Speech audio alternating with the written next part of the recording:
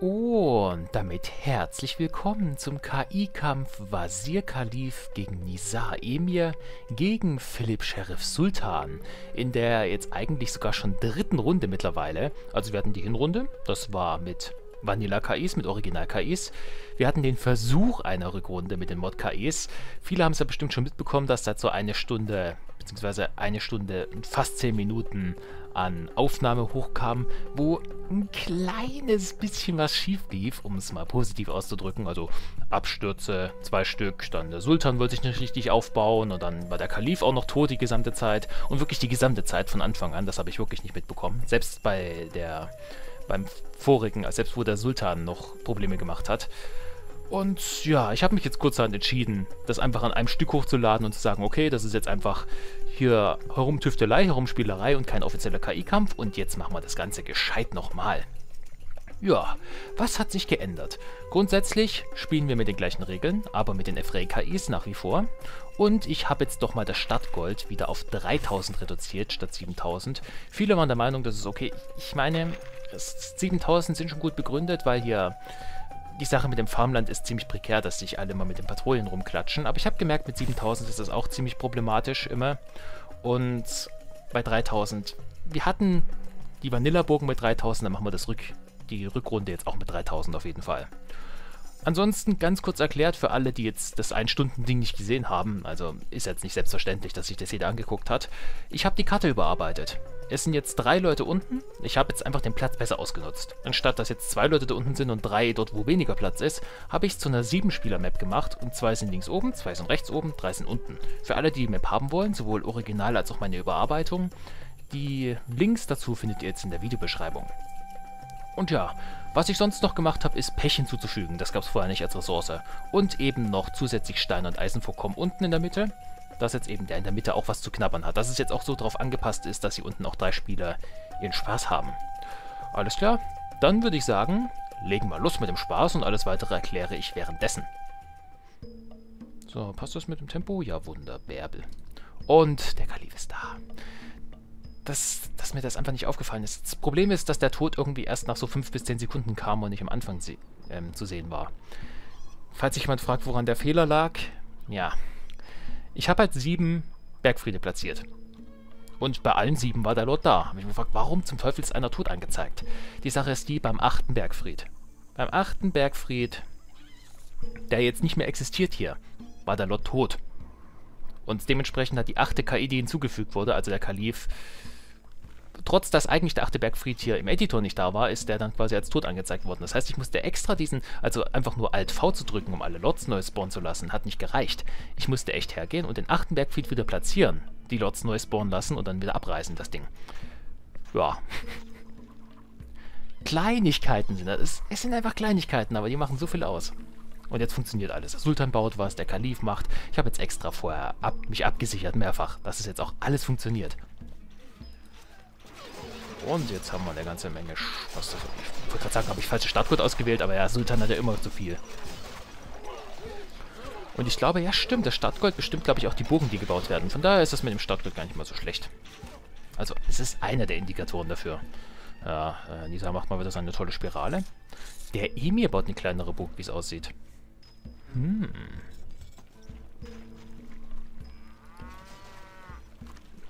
Und im Übrigen, es gibt jetzt auch einen Hotfix. Es gibt einen Hotfix für das Problem mit den Abstürzen. Hier, es, es gab viele, die haben, wie ich schon erwähnt hatte... Oh, Philipp mal ein bisschen aggressiv mit den Lanzenträgern zu beginnen. Es gab viele, die unter das Patch-Video schon geschrieben haben, dass es Probleme mit Abstürzen gab. Ich habe selbst gesehen bei der letzten Aufnahme. Ich habe gleich nähere Bescheid gegeben und er hat ziemlich schnell herausgefunden, woran es lag.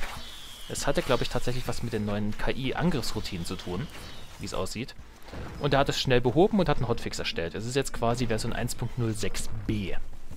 Ist auch schon alles beim Download hier geupdatet. Für alle, die noch die normale Version haben, es gibt jetzt eine neue, ihr könnt es downloaden und dann habt ihr das absturzfreie Erlebnis. Und trotz absturzfrei, ich bin da, ich bin da doch ein bisschen Speichern. paranoid und speichere lieber ein bisschen häufiger. Ich möchte nicht nochmal das gleiche erleben, Ui, Philipp mit Katapult geht gerade richtig ab. Der macht gerade echt Stress und die Balliste kann sich... Das tut weh. Philipp macht sich gerade echt nützlich. Aber ich möchte nicht die, den Spaß nochmal erleben, dass jetzt der KI-Kampf relativ vor der Entscheidung ist und das Spiel abschmiert und ich habe kein einziges Safe-Game. Das ist nicht nett. Denkt an die Kinder, Leute. Denkt an die Kinder. Meine Güte.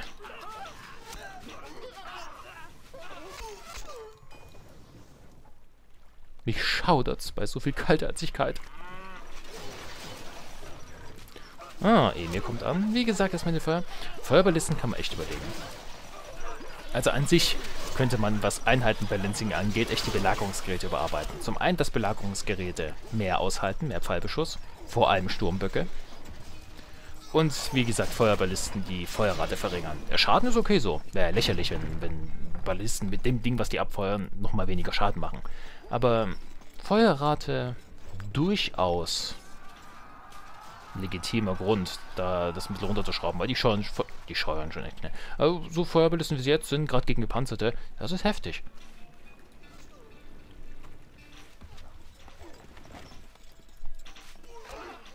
Hm, wir haben kleine Scharmützel. Was hier macht seinen ersten Angriff, kann das sein? Oder sind es Patrouillen? Na, das sind Patrouillen. Kalif versucht's, aber kommt gerade nicht weit. Ja, der neue Emir mit Waffenkauf hat halt auch schnell seine europäischen Bogenschützen auf Bereitschaft. Jetzt mittlerweile haben wir halt echt gut gepinnte KIs, das kann man wirklich sagen. Sie sind Speichern. nicht mehr so paranoid, was Abreißen angeht. Ich habe sowohl das Mauern abreißen, also das hier Steingebäude, äh, Türme und Torhäuser abreißen, als auch das Wirtschaftsgebäude abreißen, als auch das Einschläfern deaktiviert der Wirtschaft. Und ja, mit Modbogen natürlich nochmal optimierte Wirtschaft und dann eben noch verbessertes Angriffsverhalten. Wir haben jetzt eigentlich tatsächlich KIs auf Steroiden und noch höherem Maximallimit. Jetzt, jetzt hat die KI tatsächlich ein Niveau erreicht, dass man sagen kann, okay, auf diese Weise den Kreuzzugmarsch durchzuspielen. Selbst mit Original, selbst mit Original, man muss nicht mal die, die KI-Burgen modden. Einfach nur mit Originalburgen, aber so mit diesen neuen Änderungen vom Nähre-Patch, die ich jetzt beispielsweise drin habe. Ich glaube, das wird echt Kreuzzugmarsch im Hard-Mode. Das wäre tatsächlich etwas, wo auch ich mich richtig anstrengen müsste. Ihr wisst ja, ich im Kreuzzugmarsch im Let's Play, ich spiele gern rum. Ich habe immer so schon ein bisschen Bogen rumgebaut und sowas. Ich, es gab selten Situationen, wo ich sage, oh shit, jetzt muss ich wirklich ernst machen, volle Kanne. Ich glaube, mit diesem Patch gibt es einige Missionen, wo auch mir ziemlich der Arsch auf Grund auslaufen würde.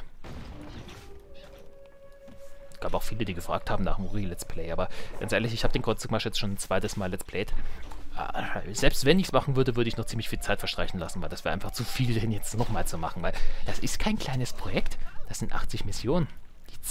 Das zieht sich über ein halbes Jahr so rum. Das ist auch so mein Problem hier, Spellforce zu Wii Let's Playen, auch wenn ich es gerne machen würde. Weil gerade Order of Dawn damals so es ist nicht mein Stol Projekt, wo ich am stolzesten drauf bin. Viele fanden es echt gut, aber ich finde es echt grausam, wie ich damals einfach noch keine Erfahrung hatte und den Sound komplett verbockt habe und die Soundqualität vom Spiel einfach so schlecht ist. Gerade bei dem guten Soundtrack, das tut mir bis heute weh, weil ich das so versaut habe damals. War eines meiner ersten Projekte. Und ich wusste, war noch sehr neu im Thema hier, was die, was die Codierung angeht und die Bitraten. Und Sheriff macht eine Burg, die ganz praktisch ist für ihn wirtschaftlich. Das ist sehr super. Philipp hat eine neue Form seiner Maginoli. Oh, er hat tatsächlich so eine Eckburg. Das ist auch ganz cool. Das hilft sogar noch mehr. Nisa hat Stress, Emir hat Stress. Ich glaube, das wird vielleicht doch wieder aufs Ähnliche hinauslaufen wie bei den Testmatches. Ich nenne es einfach mal Testmatches, weil es war eine Stunde herumprobieren, den Versuch einer, eines KE-Kampfes zu machen. Ich glaube mal tatsächlich, dass es, auch wenn der Kalif da ist, es vielleicht darauf hinausläuft, dass Nisa und Emir ziemlich aufs Korn genommen werden. Vor allem Philipps Ritter sind da ein sehr wichtiger Fakt. Fakt.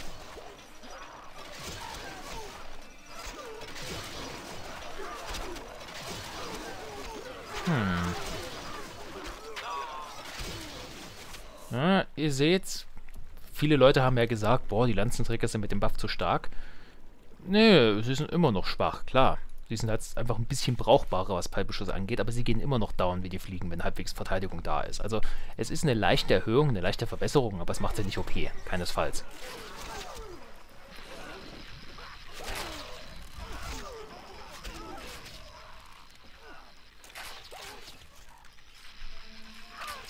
Ah, Habe ich schon mal erwähnt, dass der Sheriff mal weniger Patrouillenstreitkolbenkämpfer spammen sollte, sondern man sich mal mehr auf seine Angriffsarmeen konnte. Ah, ich kann es nicht oft genug betonen. Der Typ könnte so abgehen, wenn der einfach nur immer angreifen würde. Ich meine, was macht das? Was macht eigentlich das Schwein? Das Schwein schickt ja, glaube ich, auch hier und da Streitkolbenkämpfer raus als Patrouillen, aber viel, viel seltener und weniger.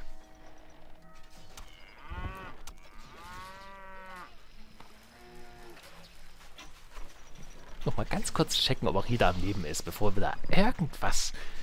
Wie gesagt, besser jetzt checken und korrigieren, als es dann nach einer Stunde Aufnahme zu machen, wo dann alle so... Sowas gehört eben auch dazu. Das ist sogar noch einer der positiveren Fälle, weil da konnte ich wenigstens meine, meine misslungene Aufnahme, wenn man so nennen will, wenigstens konnte ich damit was anfangen und es euch zeigen, den Spaß. Aber viele unterschätzen tatsächlich, was wirklich dazu gehört, wenn man Let's Plays macht. Beziehungsweise allgemein auf YouTube. Da gibt es halt oftmals Downphasen. Ich glaube, jeder, der mal großartig YouTube-Videos oder allgemein Videos auf einen bisschen längeren Zeitraum gemacht hat, wird merken, wie übel deprimierend das Gefühl ist, wenn man irgendwas macht auf mehrere Stunden und es geht verloren. Entweder weil die Dateien beschädigt sind oder weil irgendwas abstürzt, man nicht gespeichert hat oder aber, wie gesagt, weil die Aufnahme irgendwas schiefgelaufen ist und man das einfach nicht mehr brauchen kann. Wenn man wirklich mehrere Stunden was gemacht hat und man freut sich da was zu zeigen und das ist alles für die, für die Katz. Das Allerschlimmste ist dann tatsächlich, wenn man diese Aufnahme dann nochmal noch mal nachholt und man irgendwie vergessen hat, worüber man geredet hat oder was man überhaupt in der letzten Aufnahme gesagt hat. Und ob das jetzt ist, was ist, was ich bei der Aufnahme davor oder bei der verlorenen angesprochen habe. Oftmals kommt man da auch durcheinander. Es gibt viele Sachen. Die ganze Sache mit den Videos wird häufig von vielen unterschätzt. Das ist auch einer der, der Gründe, warum viele Leute auch aufhören, übrigens.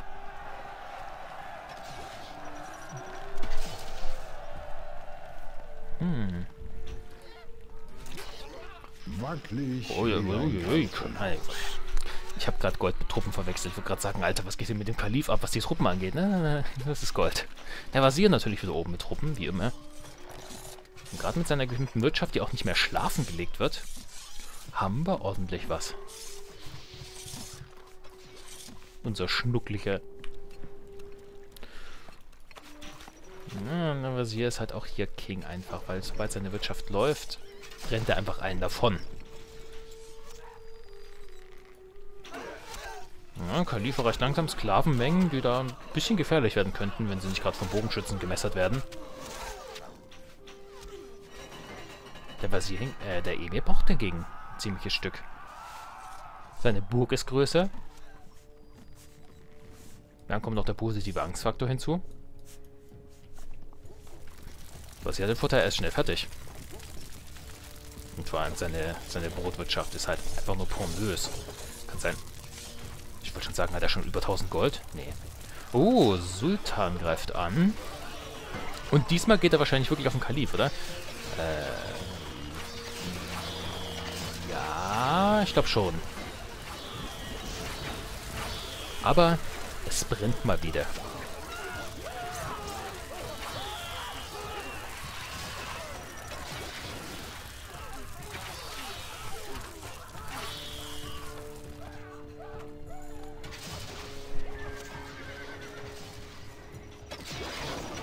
Sheriff schickt mal wieder Stallkommenkämpfer ins blanke Verderben. Ah, der Typ. Der Typ einfach. Wir werden noch. überfallen.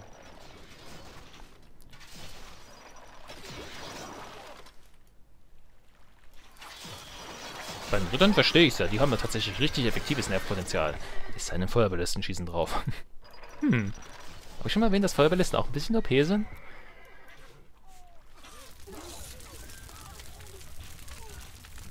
Habe ich eigentlich erwähnt? Das arabische Schwertkämpfer. Ach nee, Moment, das passt ja gar nicht mehr. Sie machen ja Schaden an Wellen. Verdammt.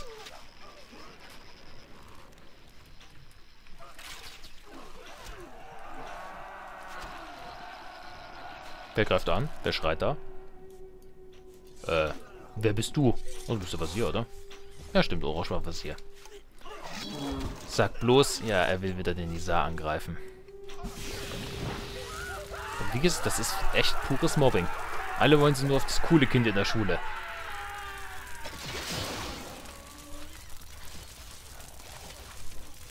Und er kriegt einfach nur die Prügel nebenbei. Er wird einfach überrannt auf dem Weg. zum Topstar.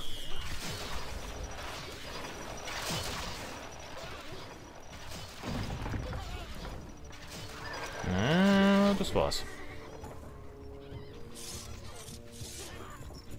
Ist das der nächste Angriff schon? Oder sind es einfach Patrouillen, die ja gerade rumdödeln? Ja, ich glaube, das wird tatsächlich ähnlich laufen. Es kommt mir nicht so vor, als wäre jetzt... Gut, ich meine, der Sultan geht jetzt ein bisschen aktiver auf den Kalif direkt, statt jetzt zum Wazir durchzudödeln. Aber der Rest scheint sehr ähnlich abzulaufen gerade. Obwohl, Wazir schaut gerade mal bei Philipp vorbei. Und lässt sich hier rasieren.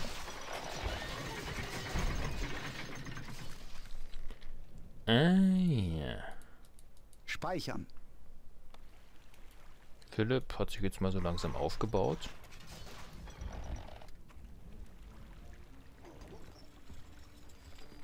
Hm.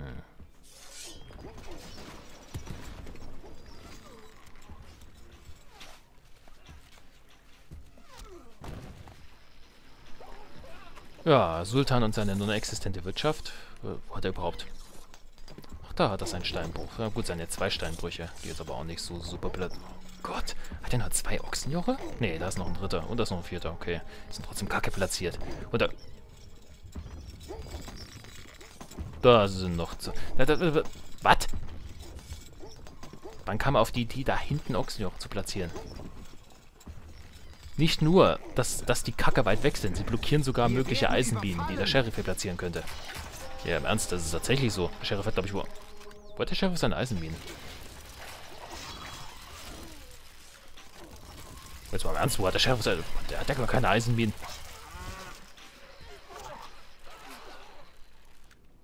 Der hat bis jetzt keine gebaut. Heftig. Da fliegt einem glatt die Hose weg. Da muss nicht mal der Ab dabei sein.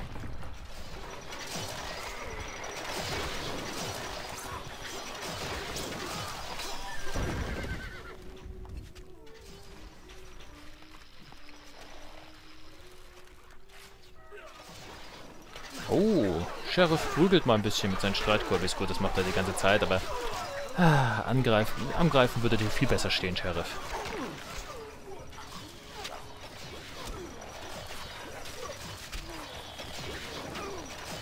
Aber Kalif seine Bogenschützen ein bisschen zu nerven, war nicht ganz ohne. Was machst du mit dem eigentlich? Aber wie der elegant dem Feuer ausweicht.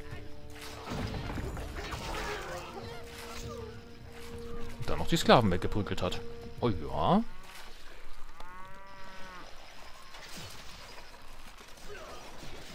Philipp mal wieder mit drin. Die, die werden diesmal aber besser abgefangen. Diesmal rasieren sie sich nicht so schnell und gut durch die Wirtschaft durch, aber Warum sind da hinten trotzdem nur ein Steinbruch und... Hat er der... Ah, den Steinbruch hat er hier. Hm. Emil, du wärst da hinten viel besser aufgehoben.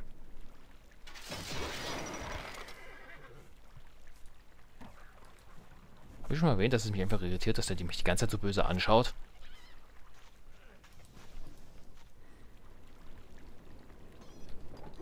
Hm. Philippe. Und ist der Wasier schon am Plus machen? Obwohl, gut, Wasier macht selten Plus, weil er sofort alles in Truppen steckt. Genau wie der Kalif. Emi hat gerne mal Plus gemacht, aber jetzt, wo er Bogenschützen richtig ausbilden kann, macht er, nutzt er das Geld auch ein bisschen besser. Der Einzige, der noch Plus machen könnte, wäre der Abt. Im Übrigen, das muss ich noch hinzufügen, bei den Efrei-KIs wurde jetzt der Abt verändert. Er macht jetzt positiven statt negativen Angstfaktor. Efrei hat ja auf die Kritik gehört und das ist tatsächlich effizienter. Das heißt, er hat dann nicht mehr ganz so viel Geld im Überfluss und nutzt es mehr für Truppenstärke.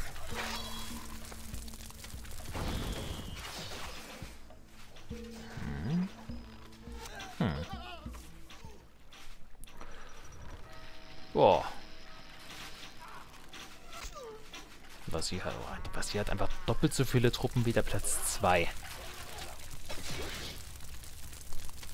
Vasier ist ja gerade am Rasieren. Das ist einfach der, der Vasierapparat, wie ich es immer so schön nenne.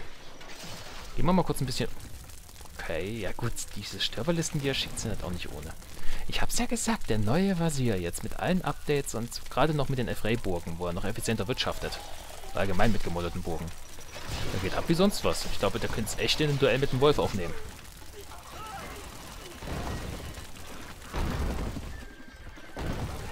Oh, der neue, der neue Wolf wird aber auch interessant, ganz ehrlich. Weil jetzt, wo alle Truppen gleichzeitig angreifen, wird er mit so einer gewaltigen gepanzerten Macht anrücken rücken irgendwann. Das ist nicht ohne. Gleiches auch bei Richard. Hm. Ich glaube, wir haben noch ein paar interessante Kämpfe vor uns. Übrigens, Vorschläge für den nächsten Kampf gern in die Kommentare.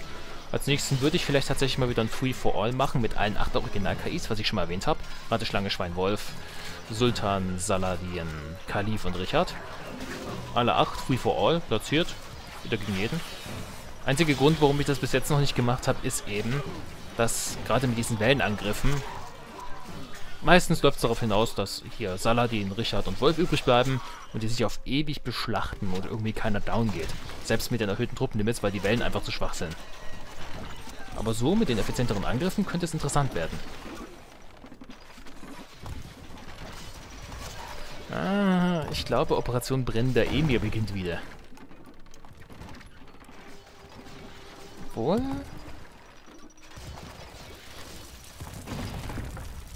Dies war eine Holzfällerhütte. Yay.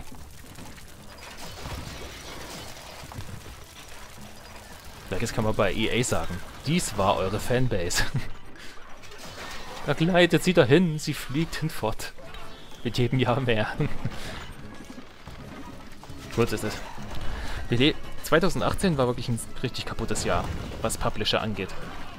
Ich meine, EA, Blizzard und Bethesda haben allesamt auf irgendeine Art und Weise richtig heftig, heftig verkackt. Das war interessant zu beobachten dieses Jahr. Ja gut, EA verkackt schon immer, daran hat man sich gewöhnt, aber das Bethesda vor allem mit, mit Fallout 76 dermaßen aufs Maul fällt, das ist richtig heftig gewesen. Vor allem wie viel da schief ging, auch mit dem Leaken der User-Daten und so. Dinge stehen nicht gerade zum Besten. Hey. Aber machen wir uns nicht zu viele Gedanken.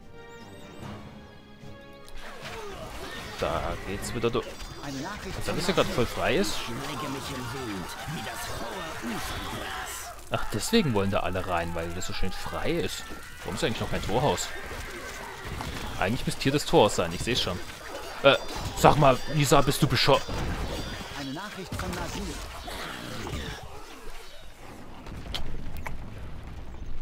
Ähm.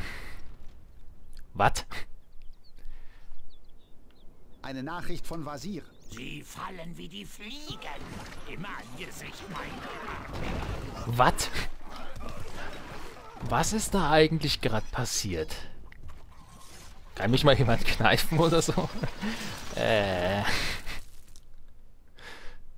Paris war mal ein steinerner Bergfried, ja. Was hat denn Nisa da draußen gemacht? Warum war das Tor eigentlich nicht gebaut? Was war das Problem, Nisa? Ging einfach raus und hat sich geopfert.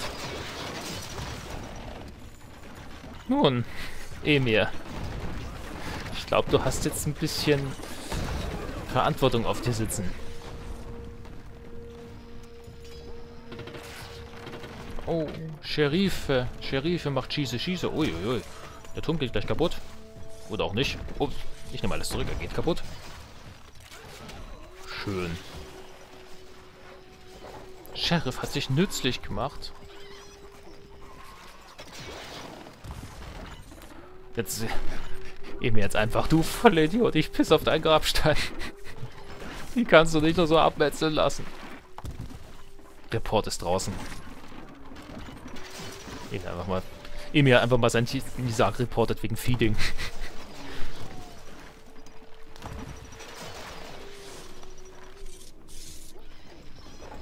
Ich mir gerade vorstelle, wie der, wie der Emir im Chat voll abgeht und Nisa rumflamet.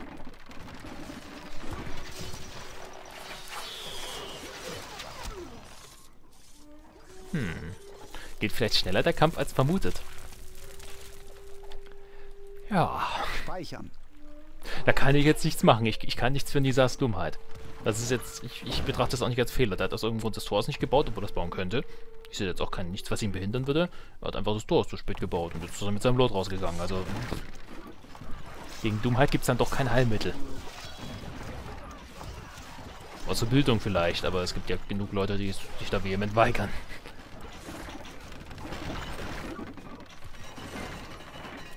Jetzt ist natürlich der Weg für den Rasierapparat frei. Der Emir tut mir irgendwie immer noch leid. Ist, obwohl, auch wenn der Kalif jetzt da ist, ist er immer noch in seiner gemobbt werden Position. Gemobbt werden Position. Hm. Die Truppen der Rate greifen an. Ja genau, buddelt erstmal. Immer noch das Allerbeste, sich vor die feindliche Burg zu stellen und erstmal an einem anderen Burggraben rumzubuddeln. Stell dir mal vor, ihr seid Lanzenträger und kriegt diesen Befehl. Ey, ich denke einfach nur, wollt ihr mich verarschen? Dafür gebe ich mein Leben her.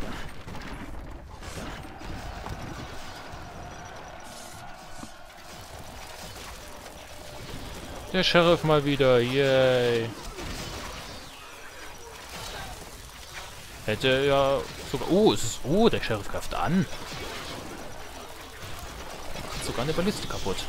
Und er zündet eine ganze Menge Hochgräben an, ja. Kann aber besser werden, Sheriff. Wirklich. Das muss besser werden.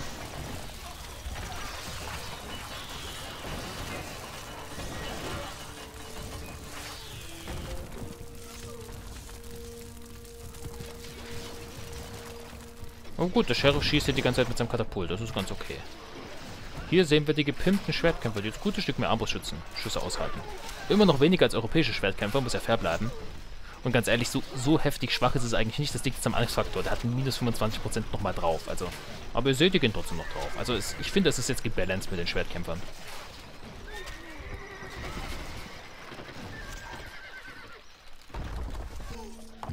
Klatsch. Und der Kalif wird gerade gut unter Druck gesetzt. Das könnte ganz ordentlich laufen, wenn der Sheriff so weitermacht. Und er hat sogar, er hat sogar Reserven. Der könnte jetzt wirklich ausbilden. Wie sieht's eigentlich beim Sultan aus? Hat er mal angegriffen und ich hab's verpasst? Oder schläft er jetzt die ganze Zeit?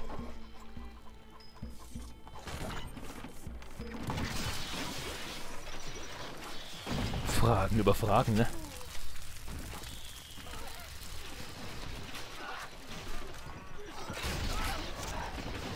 Hm.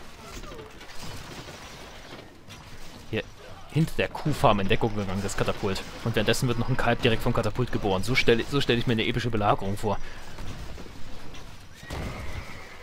Das schreit nach einer Verfilmung.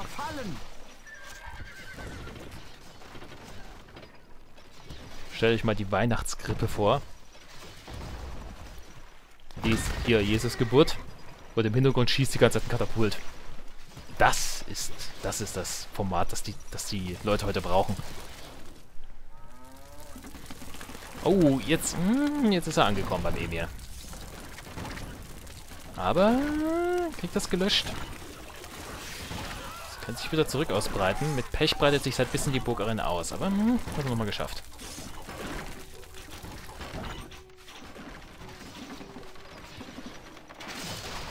Oh Gott. Der Vasir geht hier echt ab wie ein Schnitzel jetzt mittlerweile. Also, der einzige Grund, warum der Vasir letztes Mal nicht so dominiert hat, ist einfach das ständige... Ist zum, zum einen die Vanillaburg, aber die war gar nicht immer so schlimm eigentlich. Das größte Problem war das ständige Schlafenlegen. Ihr seht nämlich, wie der abgehen kann. Der Vasir ist jetzt einfach nur, nur noch... Einfach nur... Porninator.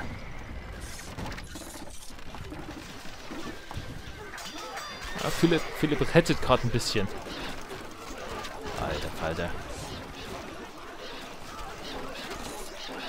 Ah, vielleicht kriegen es die Bogenschützen sogar noch halbwegs hin, aber spätestens bei den Schwertkämpfern wird es schwierig. Ich könnte was ich aber zutrauen, sich jetzt seinen eigenen Zugang zu verbrennen. Macht er gerne, der Bursche.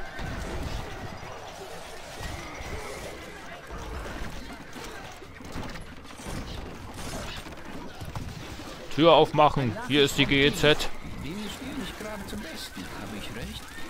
Aber machen wir uns nicht zu viele Gedanken. Plot Twist. Vasir arbeitet die ganze Zeit für die GEZ und will sich bloß die 500 Euro Monatsgebühr abholen. 500 Gold, Entschuldigung. Ja, jetzt ist der Weg tatsächlich verbrannt.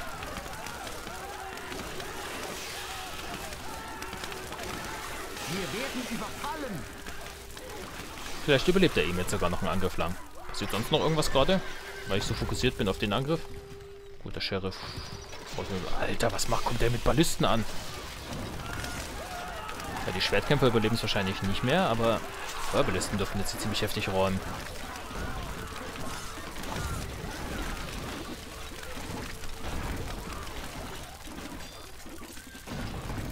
Emir, es tut mir leid. Egal, wie man es dreht und wendet, die beiden sind irgendwie immer so im Fokus. Gut, liegt am Basier. Ich meine, der Anker vom Philipp geht's. Der, der Kalif macht auch kaum was. Es ist nur der Vasier, der es entscheidet, wen er angreift. Und er will irgendwie immer darüber. Vielleicht ist es anders, wenn ich ihn runtergesetzt hätte, aber ich lasse die gleiche Aufstellung wie damals. Ich habe bloß das geändert hier mit den unten und links oben.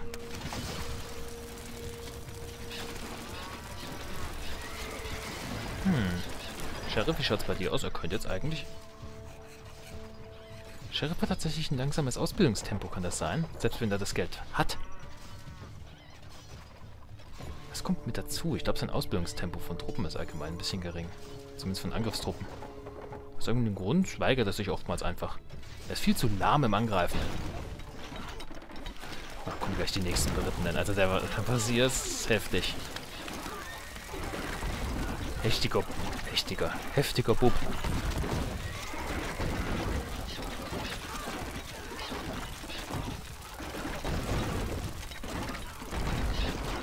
Schwertkämpfer alle kurz vorm Abnippeln. Emir machen wir jetzt bloß nicht in die Saar. Gehe da raus und versuche alles selbst zu regeln.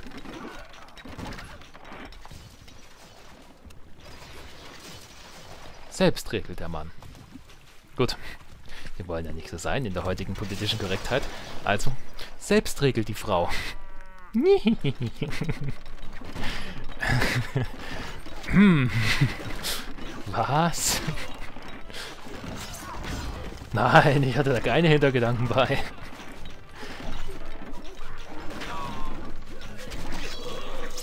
Hm.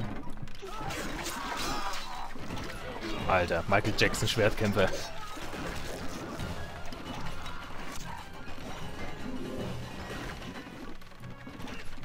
Und der Kalif ist, äh, Kalif, ja, der Kalif ist am Angreifen und Emi ist kurz vorm Draufgehen.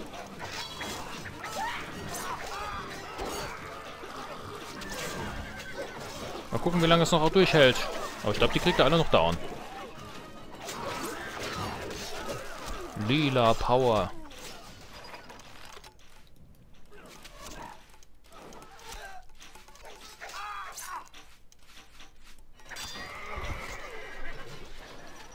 Ziemlich gemein, hier jetzt eigentlich einen Cut zu setzen, aber ich muss tatsächlich mal ganz kurz unterbrechen. Und ich nutze es vielleicht gleich, gemeiner Cliffhanger, ich weiß, aber ich glaube, ich nutze es vielleicht gleich, um die Pause zu cutten, weil das könnte vielleicht eine gute erste Folge sein. Alles klar?